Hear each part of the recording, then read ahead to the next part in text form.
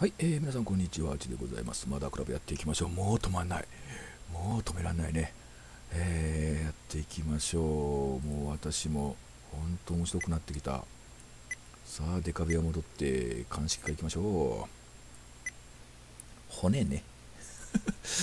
これちょっと書いちゃなんだけど、まあ一応押収物なんで書いときましょう。えーっとね、墓地。墓地の墓地だね。墓地の墓地というところで見つかりましたからね。さあ、出してみましょうか。ハルトさん、どこからこんなものを持ってきたんですか？これは人骨ですよ。この骨の持ち主は生前、銃弾で右足をぶち抜かれています。あベトナムででもやられたのでしょうか間違いないですね。これ、ロバートです。ロバートですね、左側の。左側の男が杖を持っていたということで、左側の、写真のね、左側の、左側はスージーの父だと。えー、っと、これはロバート・マクナリの骨。ロバート・マクナリの骨。ロバート・マンクナリ？ん？ロバート・うん、ううなくなり？ごめんなさい。えっと、マクナリね。マクナリの骨であって、えーヘンリー・クレイトンのクレイトンの墓に墓の中。墓に納骨されていたか。納骨。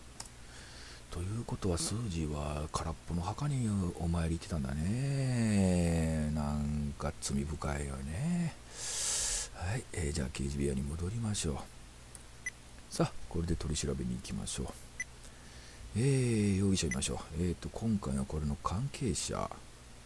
えーまずレンデルさんですね、えー供述をね。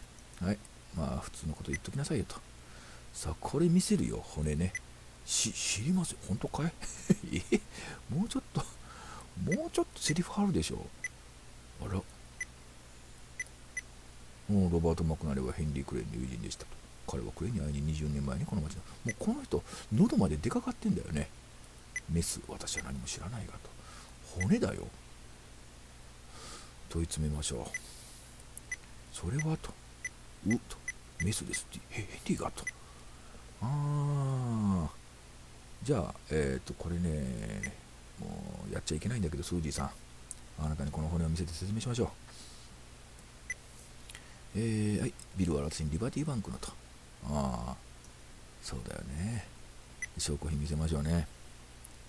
骨。何も知りませんと。ああハロルドさんこれが誰の骨か言わなかったんだね。あんたは本当に優しい人だな。いや優しいのかな。すごくあれだね。あの、まあ、冷徹な感じの人だよね絶対ね。でうん。だからもう結果のためにこれも黙ってるんだろうねきっとね。何か目論みがあってね。決して情に流されてる感じはしないんだけどね。さあじゃあ容疑者。もうこうなったらえっとジェームス。ジェームス供述通るよ。はい。お証拠品見せますよ。えっとまず写真ね。知らないかいつ骨見せるよ。どこからこんなものをと。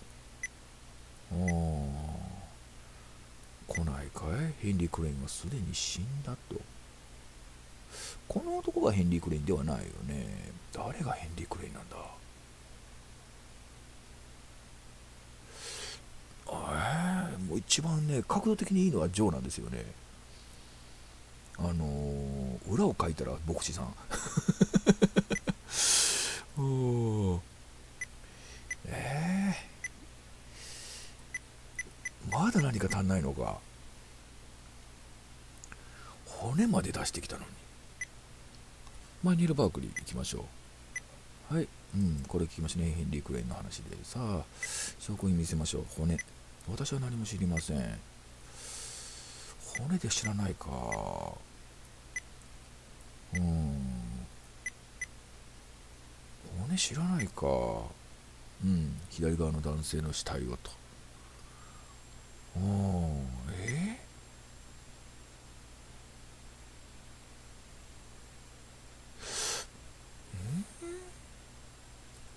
ー、ジャネット・ロビンズ。はい。こんなことはいいですよ。もう証拠品だわ骨。私は何もああこれ知らないね。知らないパターンだね。じゃあいい加減ケンジさん。家宅捜索でロビンズ紹介無理か。逮捕状エドワード。えー、まだ足んないのかい？うーんちょっと休憩しましょう。あ聞き込み100点になったわ。聞き込み100点なんだ。もうこれ以上聞き込めないんだわ。ああ取り調べで69点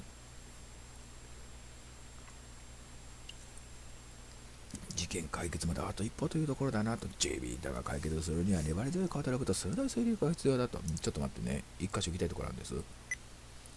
えーとキャリントン家。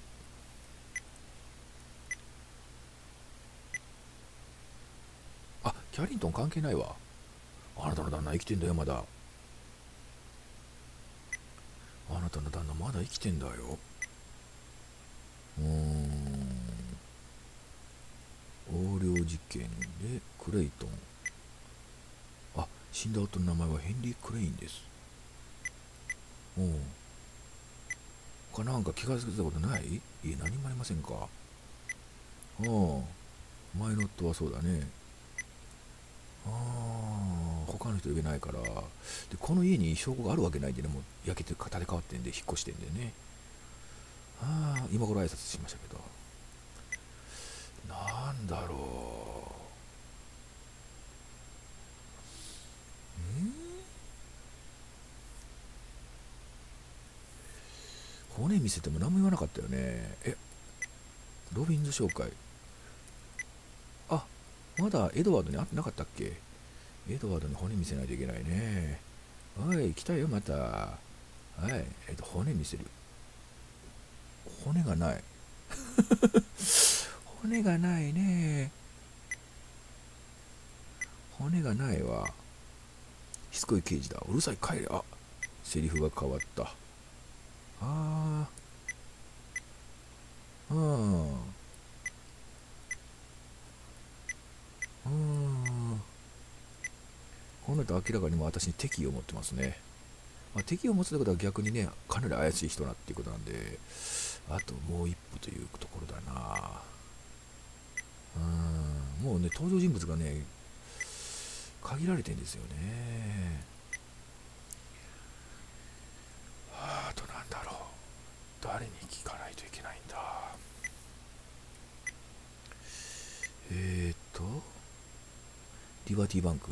リバティバンクで骨見せても仕方がないもんね。ハングリーフィッシャーマンで骨見せても仕方ないと思いますしホテルグラント？意外にこの人がと。はい。挨拶しましょうね。骨ないね。時計についてはもう聞きましたね。うん。クレインね。さあそれ覚えてませんか？その通りか。えーとあとは銀行？うんリバティバンクね。あなたでもねあなたいいいい人というかあなたは今回の事件とは全く関係ないからね。骨出てこないもんね。ねえ。うん。確か彼のダウンヒルズの墓地にあると。うん。いやあったんですよね。ありがとうございました。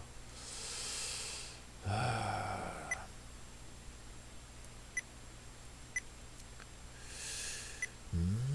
ビルの家行ってもいいだりもするしレンデルさんビガーズストアに行って骨見せて骨とかそういう話を聞いていい人はこにはいないね。となると C 地区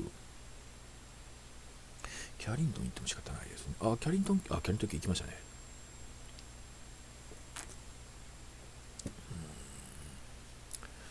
ダウンヒルズ墓地。あダウンヒルズ墓地だ。ごめんなさい。墓地の墓地って書いてましたけどダウンヒルズ墓地の墓地だね。わダウンヒルズって打つとね図がねカタカナじゃなくてね図画工作の図になっちゃうんですよね。私の Windows は。うーんと。教会？えー、はい挨拶証拠。墓について。はいこの教会の裏が墓地です。スージーさんのお父さんの墓もあります。まさかね。骨がないね。写真については知りませんか。うーん。ロビンズ紹介駐車場。はいはいと。これでも関係ないよね。うん全然ダメだわ。えー、他に気づいたことは？うんないね。え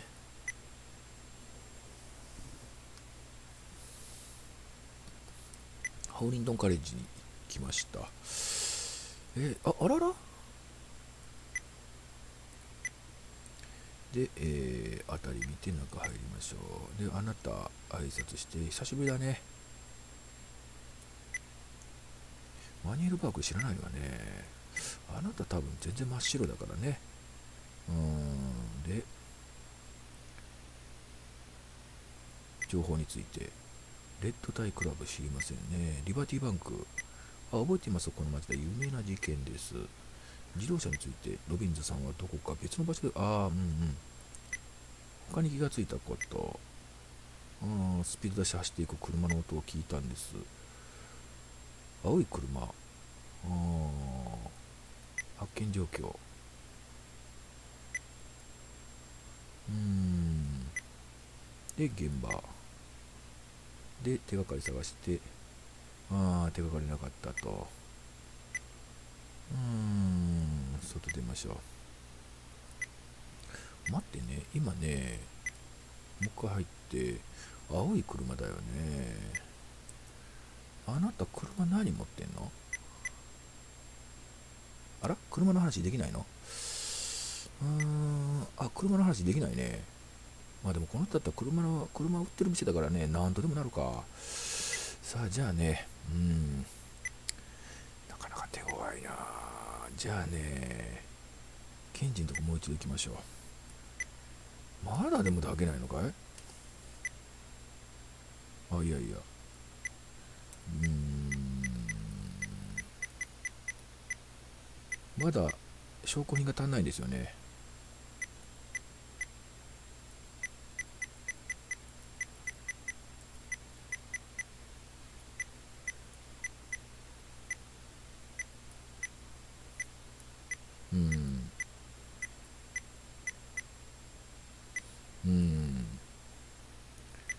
エドワードがおいった。ああいけたわ。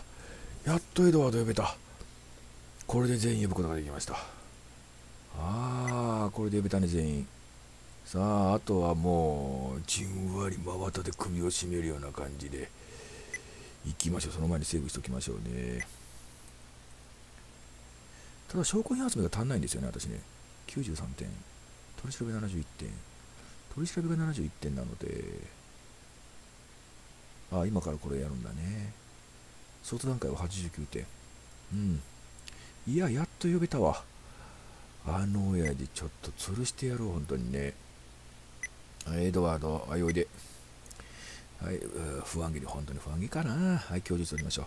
どうして被害者の父親が逮捕されなくてはならないのだ。弁護士を呼んでくれ。わしは帰るぞ。あの夜わしはマクベイの家に行っていたんだ。それ以外にはどこにも行っておらんと。さあそうかな。イヤリング。まあそれは知らんわね。えー、保険の契約書。これも知らんわね。で、ヘア、ヘアピースね、これ知ってたらやばいですけど、手紙はしは何も知らん、ピストルも知らんでしょう、スカーフも知らんわね。えー、で、ナイフ、これが微妙ですけど、うん、知らないか。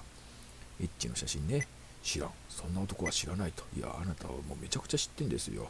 で、骨ね、そそれは、わしは何も知らんと。えー、はい、筋肉ね、知ら知らんぞ。わしはそんなもの何も知らんと。次はメスね、わしは何も知らんと。えー、帳簿、まあね、HH カンパニーはひどい経営状態じゃないか。これで倒産寸前だと。えー、で、通帳ね、わしは何も知らんと、借用書。ホールディングはビルから金を借りていたのかと。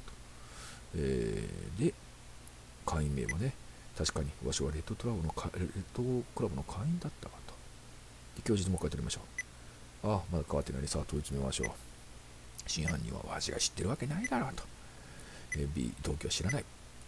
凶器わしが持ってるわけないだろうと。知らんよと。いやいやもうあなた来ただけでもだいぶ嬉しいですよ。さあ供述。うーんさあこれをねじゃあ次は、えーマクベインさん。来てもらいましょう。えー何かこの事件とレッドタイうん。わしがビルを殺し何になるというのだと。証拠品ね。えー、わし何を怒られているのだと。うん。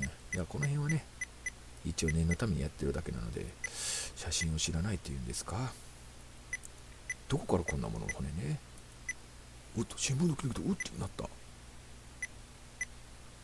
はい。うん。そうだね。あと解明部だね。ビルはこういった。レッドタイクラブ殺人クラブだとわあ うまいこと言うね。ここで殺人クラブっていう名前出してくるか。ああそういう意味かこのタイトルは。これ殺人クラブっていうのはレッドタイクラブのことを表してたんだ。さあ話がどんどん動いていきました。ということはビルがビルが、えーこの人に、えージェームズ・ブラマクベイン。これ、この人に圧力をかけていたのが分かりますね。さあさあ、えー、ともう一度聞きましょう。解明部ね。ああはい。で供述取りましょう。え何かこの事件とレッドタイクラブが関係あるとでもいいのかな？ああこれはただそれだけのことだと。うん。じゃあ問いてみましょう。あいや何してんの？間違えちゃった。えっとはいジェームス・マクベイン来てください。問いてみましょう。真犯人は知らんと。動機はそれはと。そそれはと。え凶器は？何も知らんと。方法は？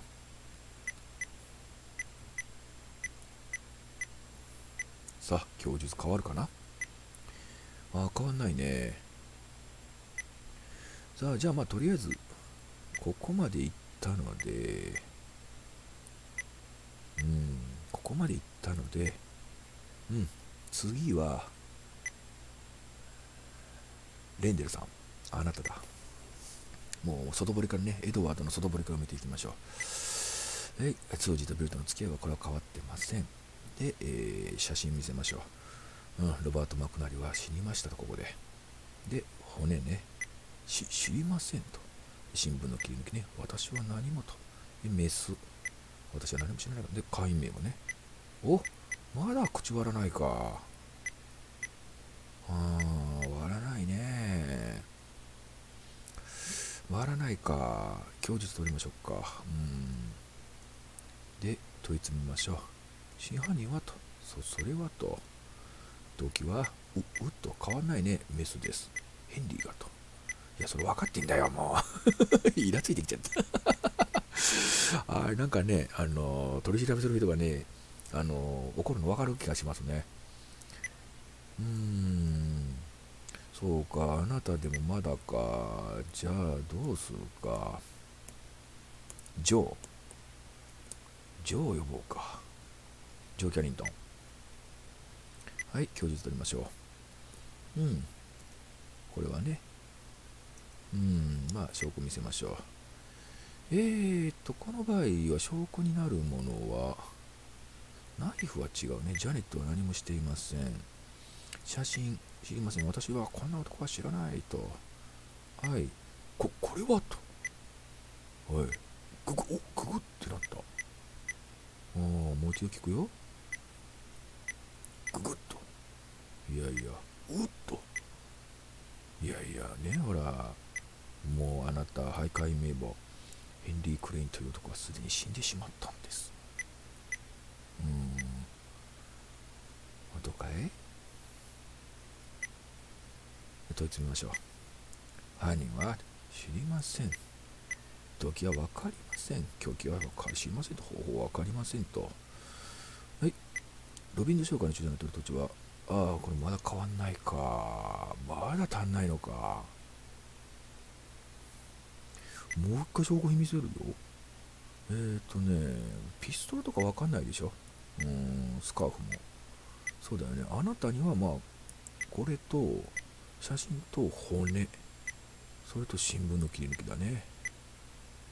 ああ帳簿とか見せても仕方がないから、うん、通帳を見てもハワードだもんね。借用書も。でこれだね。ヘンリー・クレインという男はすでに死んでしまったんです。なんであなたがヘンリーを知ってるのと。ああそっか。前の妻の旦那ということか。あーまだ。さあじゃあ本丸呼びましょうか。フレッドは何か知ってるかな？あいやマニュエルバーグで呼びましょう。はい。えー、供述取りましょう。うん変わりませんね。はい。で証拠品見せましょう。写真ね。うん。左側の男性をヘンリー・クレイの家まで運びましたと。えー、っとでもあなたヘンリー・クレインのことも知らないんだよね。おそらく。この人がヘンリー・クレインだと思ってたもんね。あ思ってはないのかもしれないね。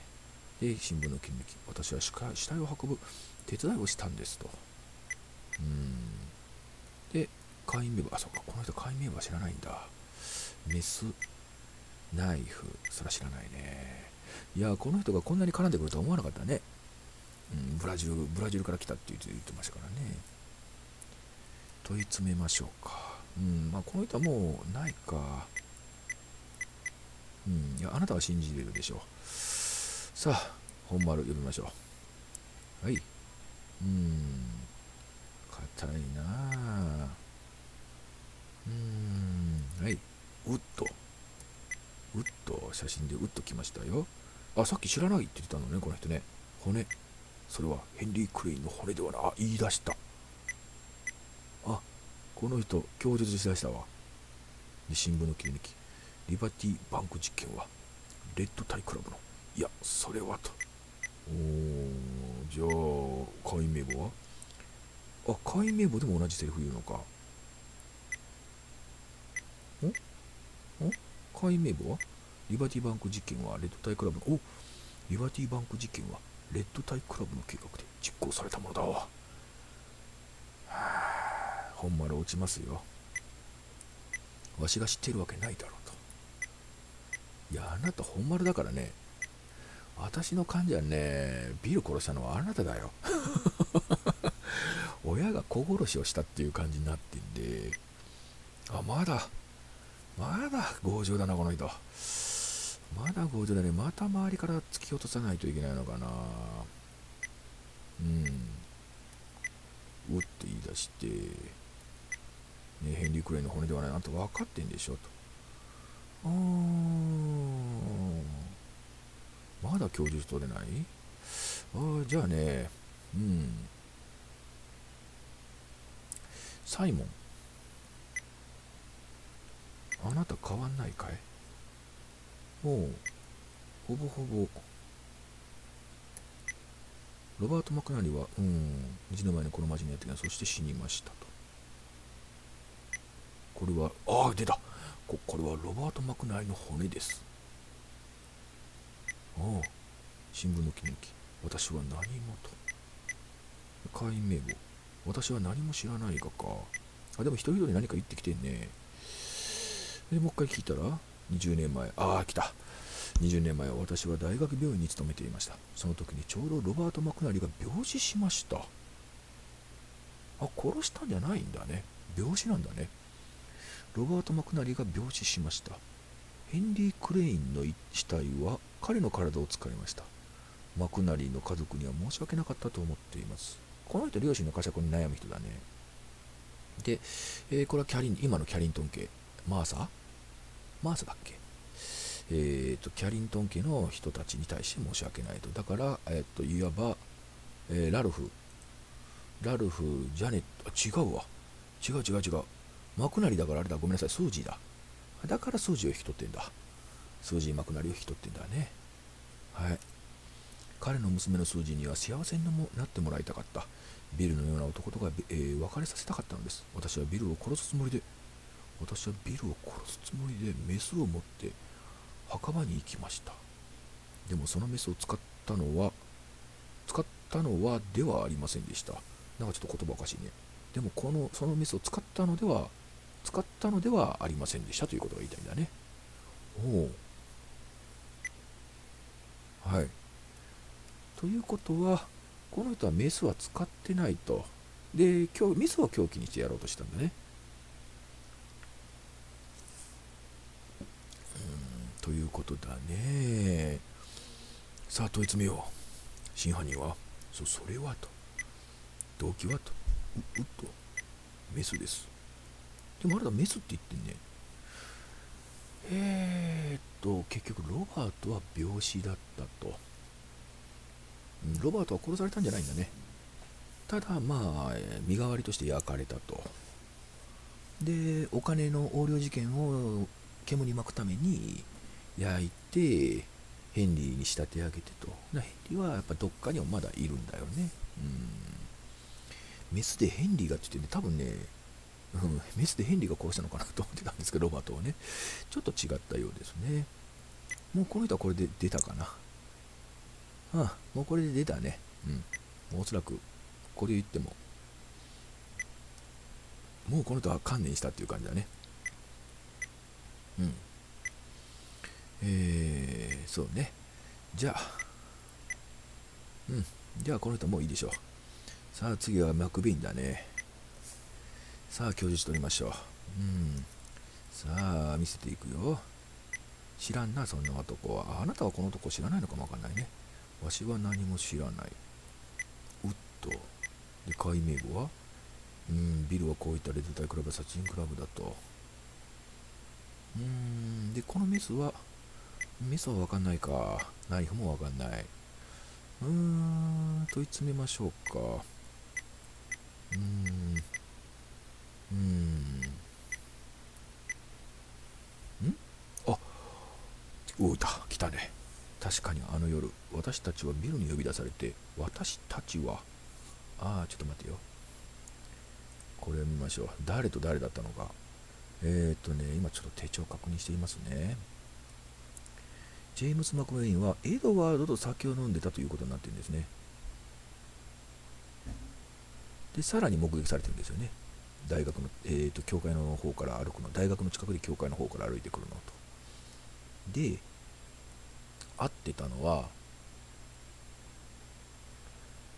会ってたのは、おそらくエドワードと会ってたんですね。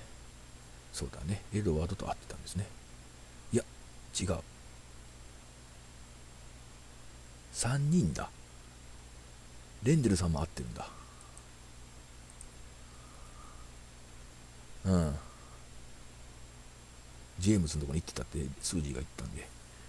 はい。で、えー、あの夜私たちはビルに呼び出されてダウン、えダウンズヒルズの墓地に集まった。ビルは私たちの完全犯罪を暴こうとしたのだ。隠した横領金を渡すようにビルは要求したと。ああ、これは横領金そうだね。で、私たちと話している時に背後からビルを刺したのはヘンリー・クレインだと。おお。ヘンリーが犯人だと。ああ、だから、あれか。なあ、私、ヘンリーがビルを殺したっていうのは全然頭になかったわ。あのお医者さんも言ってたねお医者さんもあの名前なんだっけねもうちょっと忘れしてる。えー、っとねお医者さん、えー、サイモン・レンデルさんね。彼も言ってましたね。ナイフでヘンリーがと。あえナイフ？メスでヘンリーがって言ってましたっけ？ああなるほど。もうこれで問い詰める必要あんのかな？真犯人は？え？刺したって言ってんのに。刺したって言っても真犯人知らんそこまで言って知らんっていうのかな？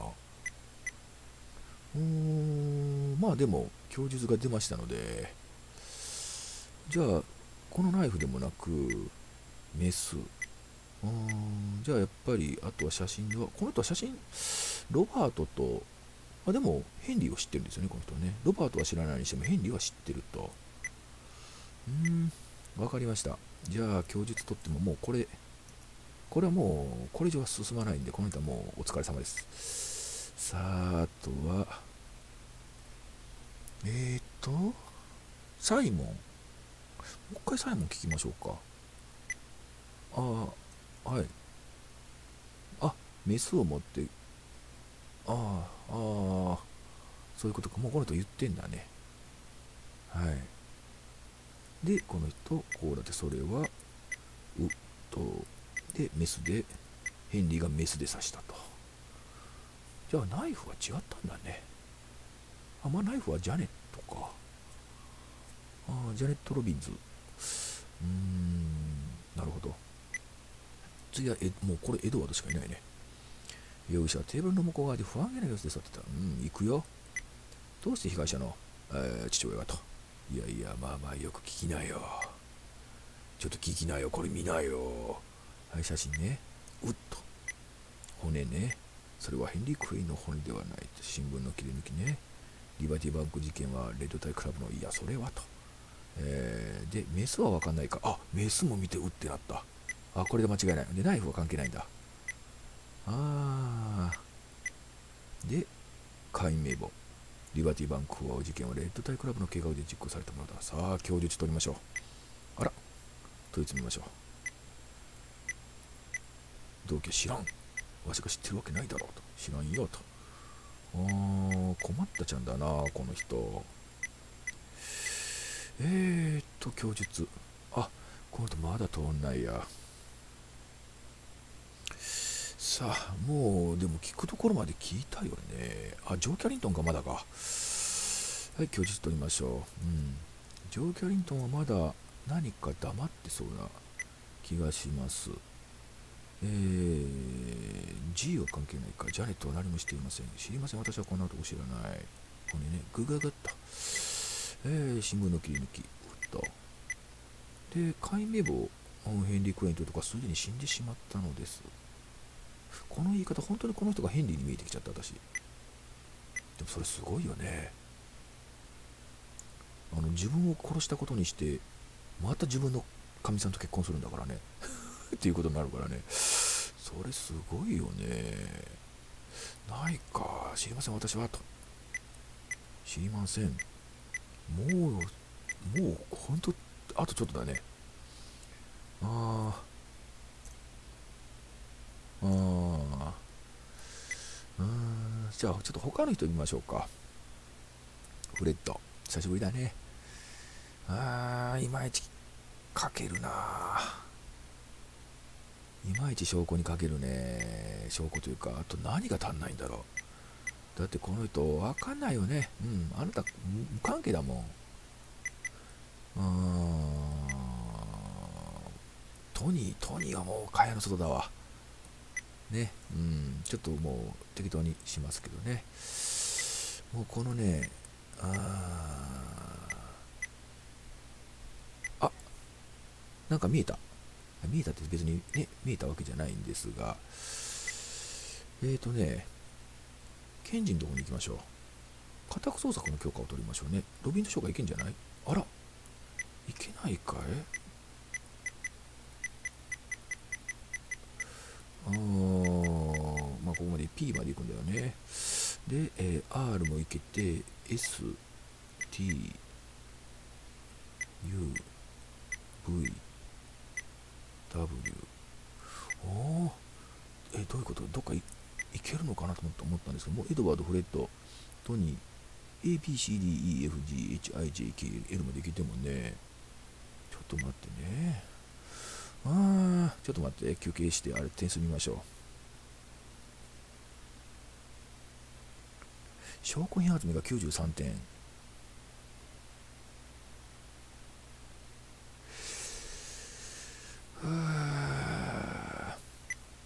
なん証拠品が足んないのかな。うんトニージョー・キャリントン、うん、ジャネット。ジャネット。ジャネットはねあ生命保険は本当にビルが入ると言ってから契約したのです。黙っていたの。ああこれ言ったね。言ってたね。うんビルは殺してるすいません。だってあなたもうここら辺ないもんね。右の男、右側の男の人は。うん、だからこれは、ああ、クレインなんだよね。うん、J、K、ああ、うん、これでね、シェリー呼んでみましょうか。うん。うん、ビルは殺してませんと。うん、そうだね。あなたたちもう離れちゃったもんねあ。あキャリントンだね。あキャリントン？キャリントン家だね。これ問い詰めてももう出てこないよね。ん？ビルは私の妹を殺したようなものでした。うん。でも恨みあるんだけどビルを殺したのはレッドタイクラブなんですよね。もうそれは分かったので。うーん誰だ？マクベインかな。うん。そうだね。ハイバルビルスタジオヘンリー・クレインだと。もうここまで供述が集まってんだけど。でメスを見せると。ああメスを見せると。別にあれか。うーんちょっとあれだね。ああまだ決定打には欠けてんのか。レンデル先生ちょっともう一回。はい。はい。で証拠にでメスを見せたら私は何も知らないって言うんだよね。ナイフは？凶器が見つかってないのか。うん。凶器が見つかってないんだね。だからエドワード呼んでメスを見せたけどエドワードだけは「う」って言うんだよね。ああ